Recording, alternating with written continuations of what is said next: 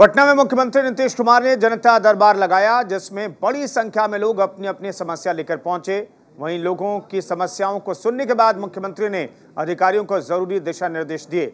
इसी बीच हमारे सहयोगी संजीव राय ने कहा, वहाँ मौजूद लोगों से उनकी समस्याओं को लेकर बातचीत की। बिहार की जनता हर सोमवार को अपने मुखिया यानी नीतीश कुमार के दरबार में अपनी शिकायत लेकर आते हैं। और ऐसे में आप देख रहे हैं कि कई ऐसे लोग हैं जो अपनी शिकायतों को लेकर जनता दरबार आए। देखिए यहाँ पर माननीय ऊर्जा मंत्री महोदय के लिए ये सरकार के पास अपना आवेदन लेकर नारी अत्याचार से मुक्ति पर। क्या है आपका मामला क्या? है मेरी बहन है इसको वो बिहारी बिहार रहने वाला है थाना पंडारक में पड़ता है और जिला पड़ता है बाढ़। क्या आप मामला क्या था? मामला है कि हमारी बहन को निकाल दिया गया है।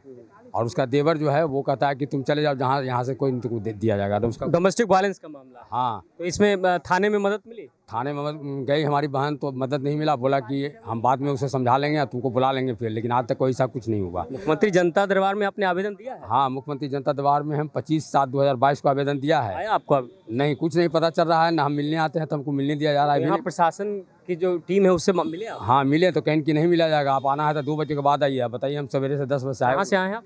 हम बाढ़ से आए हैं। चलिए देखिए ये एक मामला है जिसमें डोमेस्टिक वायलेंस का मामला आ रहा है और ये लगातार घूम है और ये इनका कहना है कि कई महीनों से ये देखिए इन्होंने जो बताया है उसके हिसाब से कई महीनों से घूम रहे लेकिन इनको कोई न्याय नहीं मिल रहा और जनता दरबार में ऐसे ऐसे कई ऐसे लोग हैं आप देखिए किस तरह से कई ऐसे लोग हैं जो जनता दरबार में आए हैं। आप देख सकते हैं बेहद ही बुनियादी कह सकते हैं कि सुविधा लेने या कुछ अपनी अ, क्या आपका क्या मामला है? सर हम लोगों का छप्पन डिसमिल बस वाला था। उसमें इंदिरा आवास से निकला। तीन आदमी तीन गो लड़का है तीनों नाम से। तो एगो रंगबाज है। जमीनी विवाद का मामला। हाँ सुनिए ना तो मिथन बस से कहा पचास पचास रुपया दो रंगबाजी टैक्स तो घर बनाने देंगे। हम लोग गरीब नहीं दे सके। शिकायत यही है कि सरकारी ज़मीन में पाँच धुर में बसे हुए हैं हम।